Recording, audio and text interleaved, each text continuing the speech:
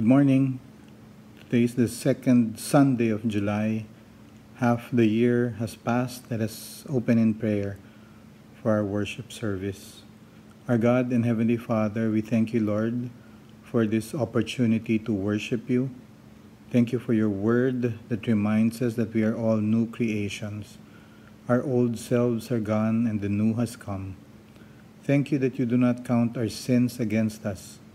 Thank you for reconciling us to yourself through Christ. Today, our prayer is that we will not receive your grace in vain. Remind us today is the day of God's favor, and now is the day of salvation. All our help comes from you. In Christ's name we pray. Amen. I'll raise a hallelujah in the presence of my enemies. Hallelujah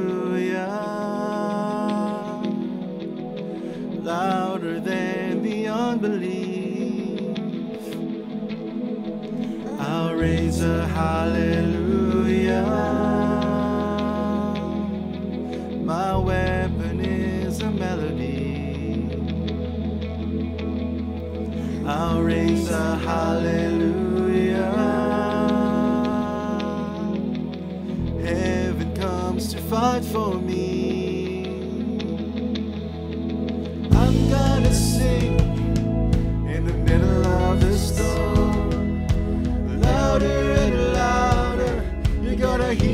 praises rise.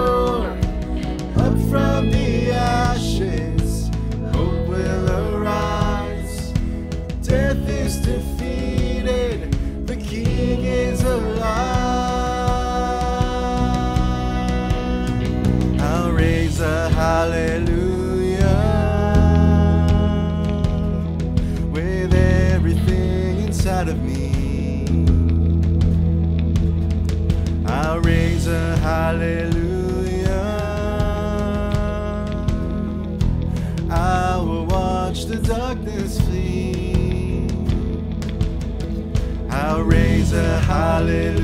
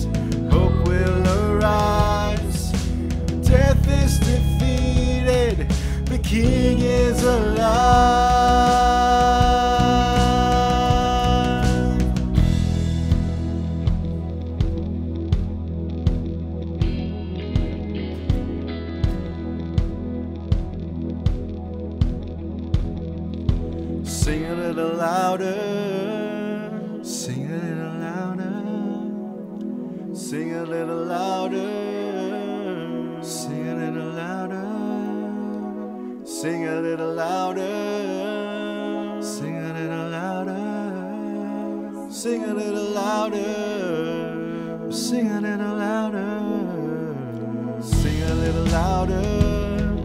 in the presence of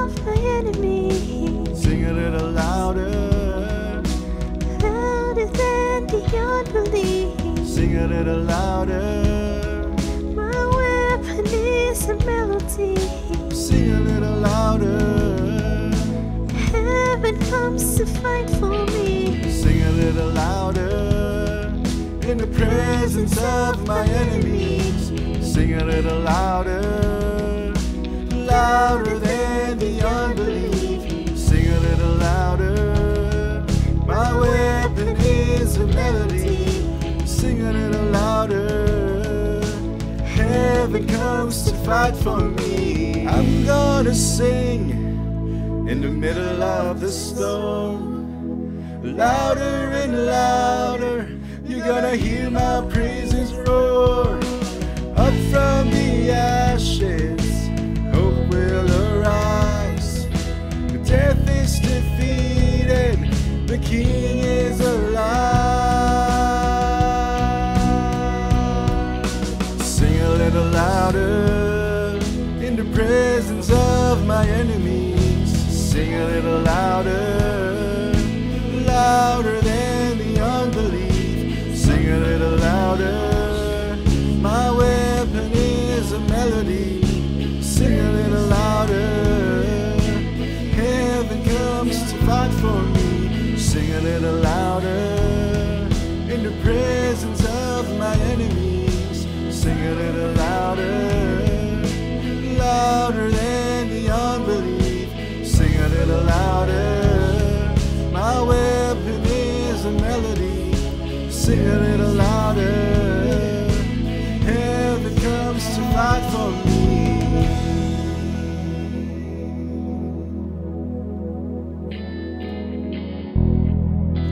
Morning, I want to share with you Matthew chapter 9, verses 35 to 38.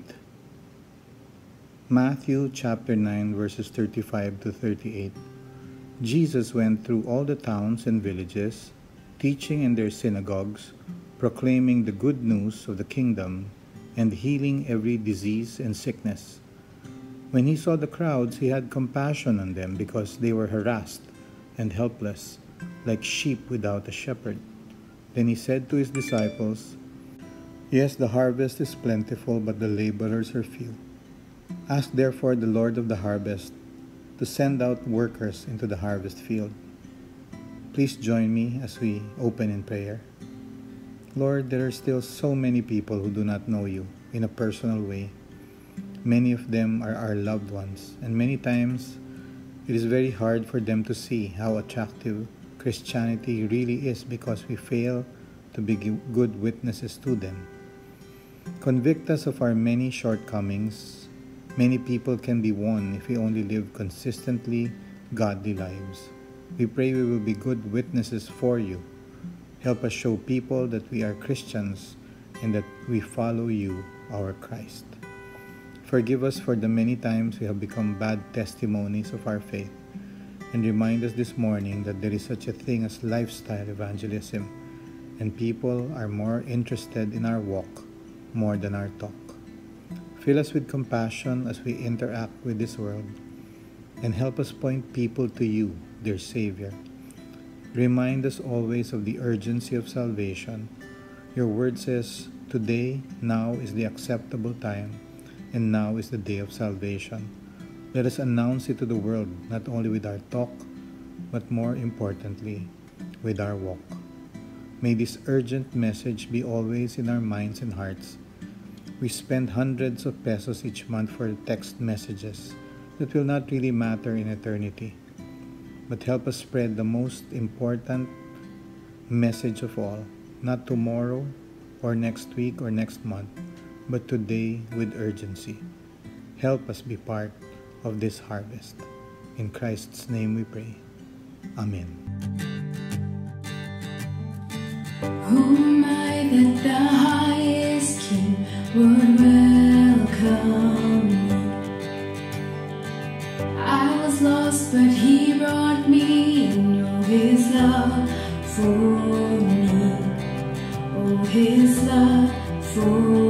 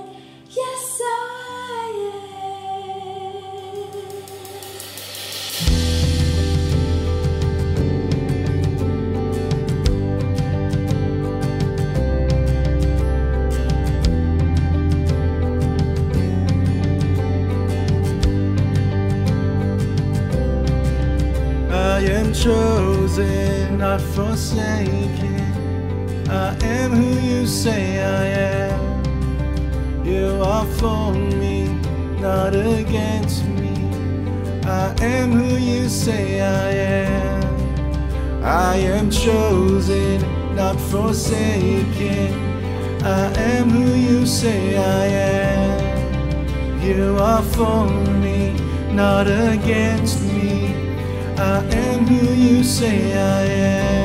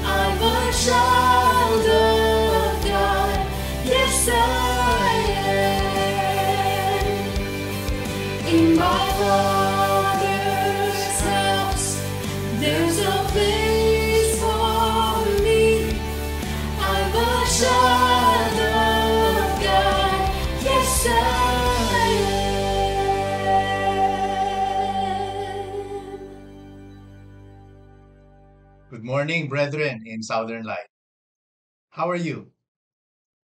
The Philippines has now a new administration. And some of the many issues our government faces, especially about integrity, are nepotism and political dynasty. Nepotism is defined as the practice among those with power or influence of favoring relatives or friends, especially by giving them jobs. An article I saw about political dynasty states that it is a situation wherein the sequence of powerful leaders is from the same family or line. It is a practice described by Filipinos in which it is normal for politician's son, wife, brother, husband, or other kinsman to run for the same government or other government office. How should we respond to this, or what should be the possible solution? The Pasig mayor, uh, Vico Soto, said this in one of his interviews. Hindi lang naman isang tao ang magaling eh. Hindi lang isang pamilya ang magaling. Let's find those young leaders. Let's find those next generation leaders who will be better than me. Who will be better than the leaders that we already had here in Pasig. Sa interview niya ito with GMA7's Howie Severino back in May 28 of 2020. Now, Pastor Lito asked me to speak on the topic of spiritual growth. But what does spiritual growth have to do with raising up new leaders? You see, it's quite easy to see if a person is growing physically. Very obvious yan. Nasa panglabas eh.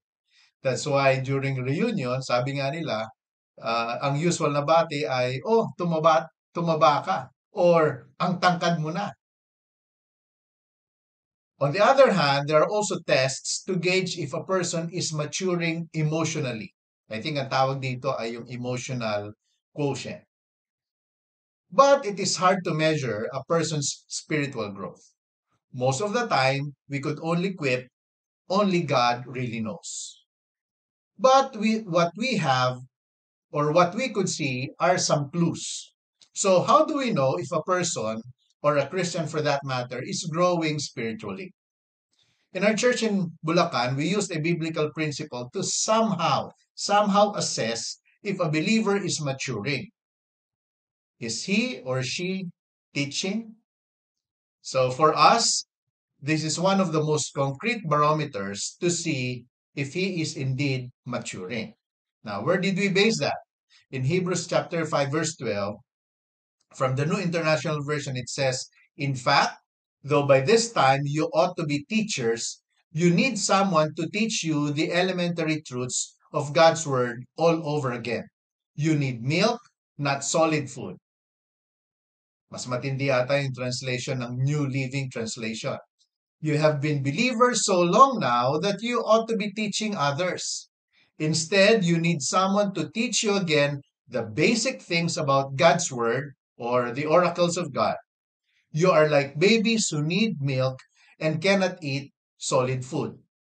So ito po yung naging basis namin kung bakit it's important for us to teach so that we will see if we are growing or not. Now, you add this principle to the Great Commission where we have to obey the Lord by making disciples and by teaching others, then teaching indeed is a good guide to see if a Christian is growing or not. Now, I understand that this can't be 100% foolproof. I mean, uh, one can also teach without growing spiritually. I get that. But still, this is a good visible gauge and a good aspiration for us if we want to continue growing in the Lord.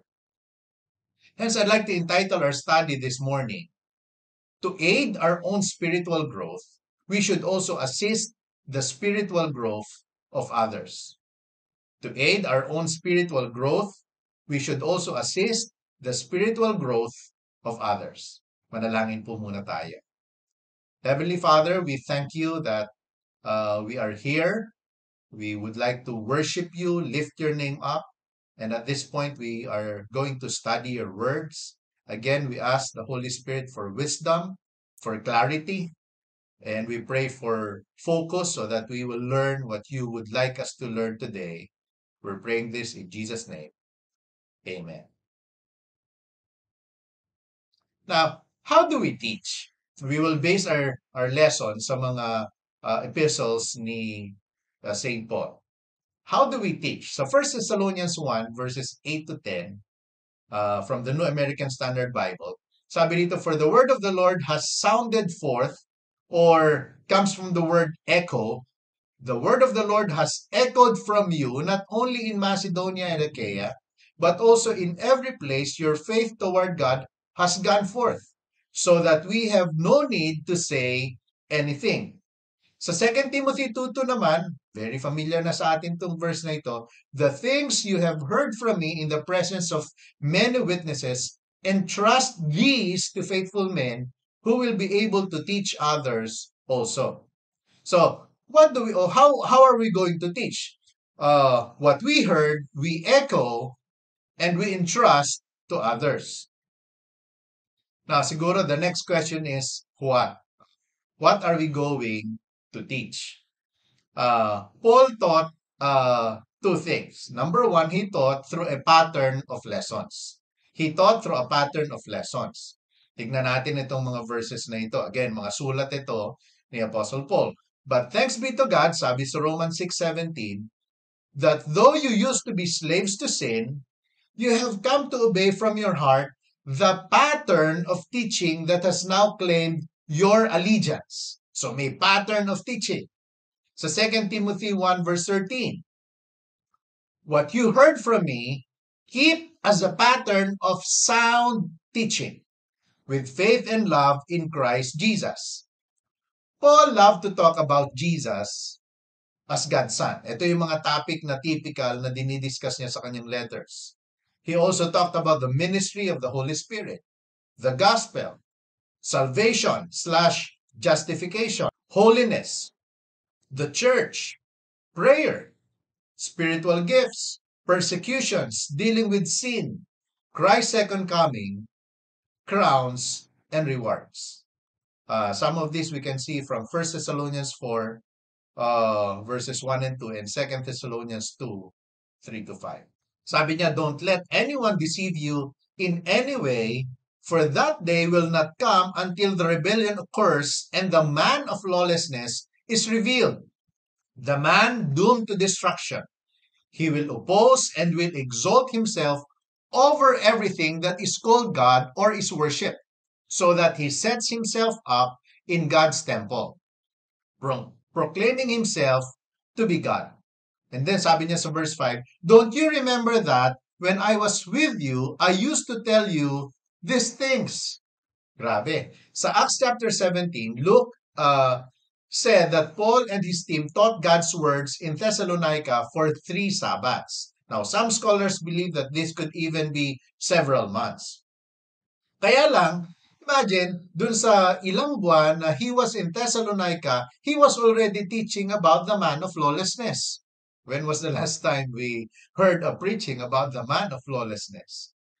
Ganon si Paul, no? Uh, he has a set of teachings. Meron siyang pattern of the lessons that he wanted to teach the believers. so dito, yung details na ng last days, yung kanyang pinag-uusapan. But he did not only taught through a uh, uh, through a set of lessons or a pattern of lessons. He also taught through a pattern of life, which was his life o Paul's life. Tingnan nam- naman natin yung mga verses na ito. 1 Corinthians 11 verse 1. follow my, that's Paul, follow my example as I follow the example of Christ. Philippians 3:17. Join together in following my example.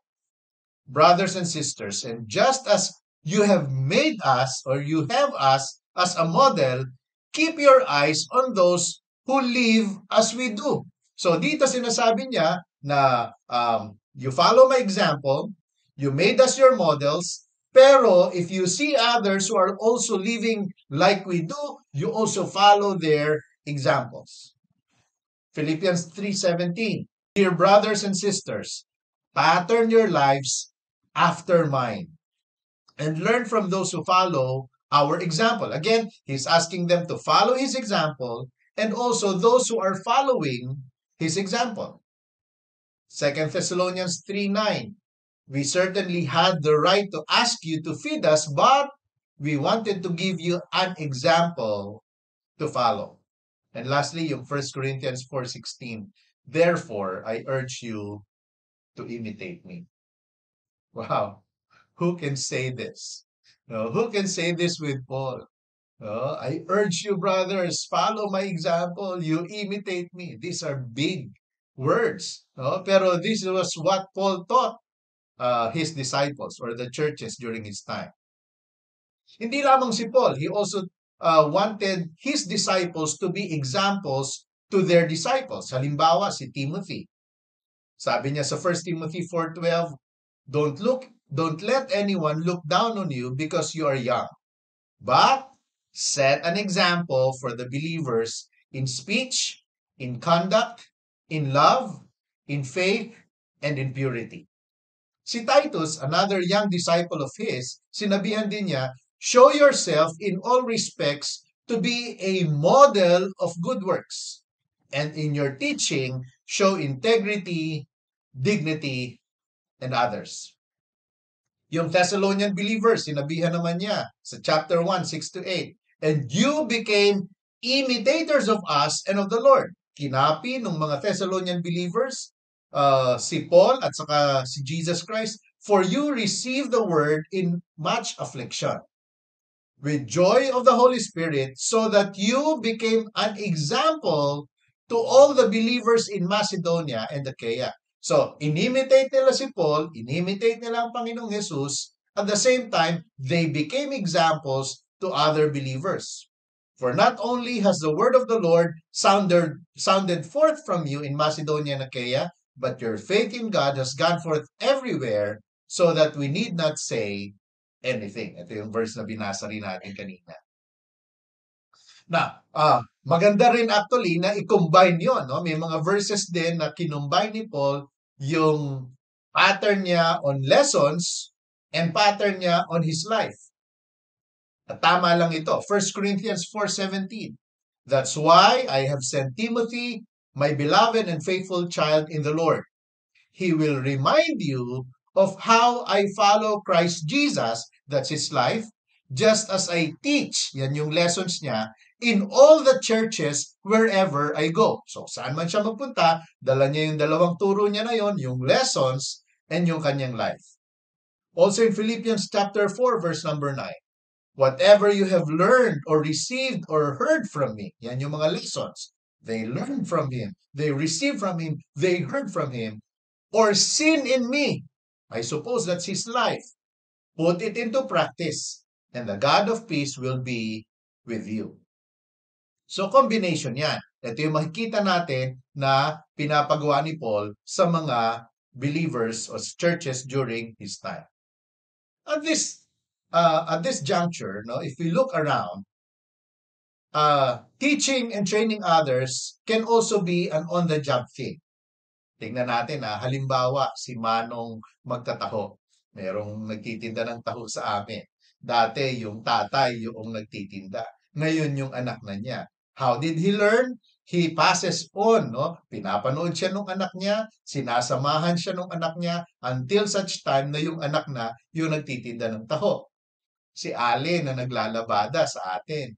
Ah, saan yan matututunan yung paglalabada? I suppose dun yan din sa nanay niya. Wala namang school of laundry, no? Kung paano tayo maglalaba ng di kamay, no? Kailangan kuskusin yung ah, ah, collar, yung sa armpit, no? Banda, paghihiwalay mo yung white sa decolor, no? Ito ay natututunan lang natin o natututunan nung nagtuturo sa atin on the job.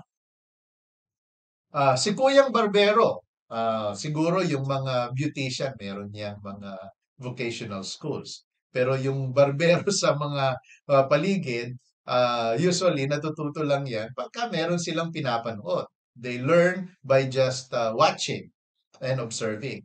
Si mamang truck driver o bus driver, I also heard sa ibang bansa, marahil meron sila ng mga ah, driving school for truck drivers. Pero that's unheard of no sa Philippines. So, paano sila matututo? By just observing, by just watching. Ah, ganun din yung si ate na nagtitinda sa palengke, no? Si Mang Mang Carpintero, Ortebero, si jeepney driver, tricycle driver, si bus conductor. Ah, itong mga tao na ito, bagamat ah, we are high on education, no? We are high on ah, going to school and finishing and getting diplomas. Pero itong mga tao na ito, they learn by just watching the examples of others. So what's my point? Sa buhay natin ngayon, in our Christian lives, we can learn and we can also teach ng life to life. Okay? And in fact, I believe this was how Jesus taught his disciples. So I'd like to share with you a simple cycle of developing others. Uh, I will have to be honest with you. Several years back, uh, when I saw this, I copied it. I adapted it, translate ko sa Tagalog, I posted this sa aming church. Kaya lang, when I was uh, trying to uh, search no kung saan ko nga ba nakuha, parang because I I revised and I added some uh, some principles and that was what others also did sa internet. Ni-revise din nila, nagdagdag ng principles. Uh, pasensya na, hindi ko na alam kung saan ko talaga siya nakuha. No? But this is a uh, compilation of what uh, uh, disciples believe is a good pattern to follow. Paano natin ito gagawin? No? How, how do we do this in our ministries or in our church lives? Ito yung nine steps. Number one, I do, you observe. I do, you observe. For example, uh, yung visitation natin o kaya when we teach Bible studies, when we lead in singing, when we evangelize, we preach, how do we develop others? We do it while somebody else, yung you is somebody else will observe us. He will be our disciple. He will be our learner. Student natin siya. Step two, I do, you help. We're not asking them to help because uh, we cannot do it, but because we want to develop them. we can see this, uh, we can see Jesus doing this no, to his disciples. For example, nung feeding of the 5,000, ang sabi niya, o paano na to? Ang daming tao. Where are we going to get food for all these people? Uh, it's not that he does not know or he did not know what to do, but he was uh, welcoming no suggestions, welcoming inputs from his disciples. So I do, you help. Then it shifts. You do, siya na yung maggagawa, and then tayo na yung mag-a-assist at tutulong sa kanya for whatever help he or she might need. Step four, you do, I observe. Nag-observe ngayon tayo sa ginagawa niya for the purpose of coaching. And then number five, you do, and then somebody observes as a learner, while tayo, ako, I coach, and this will be a li- lifelong process. But now, we are already out of the picture. Halimbawa, sa visitation, nung una, kasama natin siya, we are training him or discipling a person, pero dito, uh, out of the picture, hindi na tayo kasama dun sa pag-visit, siya na lang ang mag-visit together with another one na ititrain naman niya. Step 6, you do, that somebody helps. Okay, and then we have a shift again sa step 7. That somebody does, ito na yung third person, that somebody does, and then you will help. Step 8, that somebody does, and ano nang gagawin mo? You observe. For coaching na naman yan. And then last, that somebody does, and another one observes while you coach. And then the cycle continues. Bakit ko nagustuhan? Yung most of uh, what we can see in the internet is actually hanggang step 4 lang. uh, or step 5, yung nire-release mo siya. What I like with our list is na-accomplish dito yung four generations of discipleship. So, we- it starts with I, uh, that's me, that's also you, pwedeng kayo yon that's we. Uh, how do we disciple? Tayo yung first generation. Uh, you, pag sinabi kong you is, that's our trainee. Yung tinitrain natin, yung dinidisciple natin. Yung somebody, that is now the third generation. And then yung another one is the fourth generation. So, if we do this cycle, ay it will ensure na aabot sa four generations yung pagpasa natin kung whatever we want to pass on to others uh, so that they will also grow. So, balik ako dun sa question natin. Uh, why will I raise up other leaders? Because realistically, it can help us see if we are growing spiritually. Okay? Makikita natin yun eh. Nag-grow ba talaga ako? Am I growing in my my learnings or in my knowledge of the Lord? Am I growing sa life ko bilang Christian? I can see that if I am also training, discipling, and helping other leaders. At times, it can even force us to grow, knowing that someone is looking up to us. Like a man, no? When he is single, uh, he could do whatever he likes, anumang bisyo, he can come home anytime. But when he had, but when we will, he will have kids, no, he will be forced, or let's use the word motivated. He will be motivated to live a life so as to be an example to them. Ito yung gusto sana nating mangyari. We want to grow, pero minsan parang uh, wala tayong uh, motivation, no? Uh, or impetus na na lalago talaga tayo. But when we help others, that somehow aids, no? That as uh, that uh, expedites yung ating growth sa spiritual lives. Balikan ko ulit yung verse natin. Hebrews 5.12. In fact, though by this time you ought to be teachers, you need someone to teach you the elementary truths of God's Word.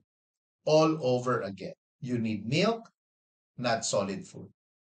So the question uh, we, we are being asked is, are we the teachers now? Or are we the basic learners still? Teachers na ba tayo? Nagtitrain na ba tayo? Nagdi-disciple na ba tayo? Disciplers na ba tayo? Or tayo pa rin yung dinidisciple? Of course, uh, we should all continually learn, by the way. So, Would we really grow spiritually if we help others grow? Lalago ba talaga tayo? Uh, do you have a biblical basis for that, uh, Pastor? Uh, let me close with this. Ephesians chapter 4, 11 to 16. this is from the New Living Translation.